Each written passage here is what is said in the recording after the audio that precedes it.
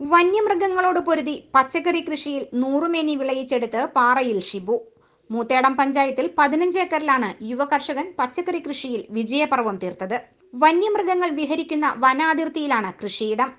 നേന്ത്രൻ മത്തം കുമ്പളം വെള്ളരി കക്കരി പാവൽ മുളക് തക്കാളി കമ്പം വഴുതന വെണ്ട ചിരങ്ങ തുടങ്ങി പച്ചക്കറികളിലെ വമ്പന്മാർ സമൃദ്ധമായി വിളഞ്ഞു നിൽക്കുന്ന കാഴ്ച ആരുടെയും ഉള്ളം കുളിർപ്പിക്കുന്നതാണ്.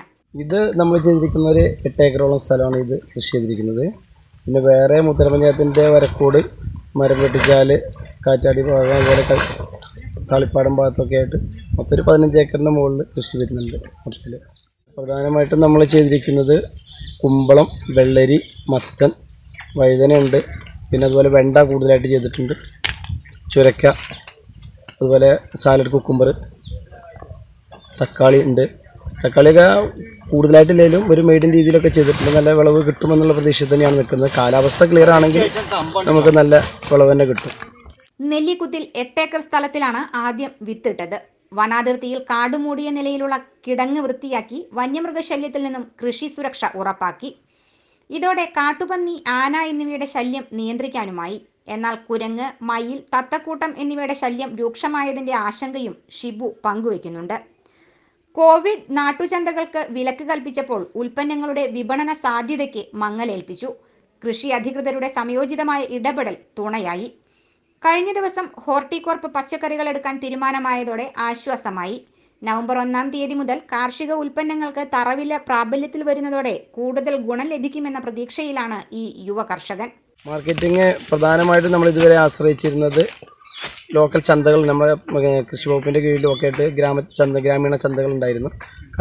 കയറപ്പുറത്ത് ഒരു ചന്തയുണ്ട് അതുപോലെ കേരളായി ഉണ്ടായിരുന്നു. ഇടക്കര ചന്ത ചുങ്കത്തര ചന്ത ഇങ്ങനെ ചന്തകളെ ആശ്രയിച്ചാണ് നമ്മൾ പ്രധാനമായിട്ടും നമ്മൾ വിറ്റുകൊണ്ടിരുന്നത്. നമ്മൾ തന്നെ നേരിട്ട് കസ്റ്റമേഴ്സായിട്ട് നമ്മൾ നേരിട്ട് കൊടുക്കുകയായിരുന്നു. അതുകൊണ്ട് നല്ല ചെന്ന് കഴിഞ്ഞാൽ ഒരു മണിക്കൂർ കൊണ്ട് നമ്മുടെ ഉൽപ്പന്നങ്ങളൊക്കെ വിറ്റ് തീരും നാടൻ സാധനങ്ങളായതുകൊണ്ട് അത്രയും നമുക്ക് ഗുണത്തിലായിരുന്നു. പക്ഷേ കോവിഡിന്റെ പ്രശ്നം കാരണം ഇപ്പോൾ അതൊക്കെ നിന്നിരിക്കുകയാണ്.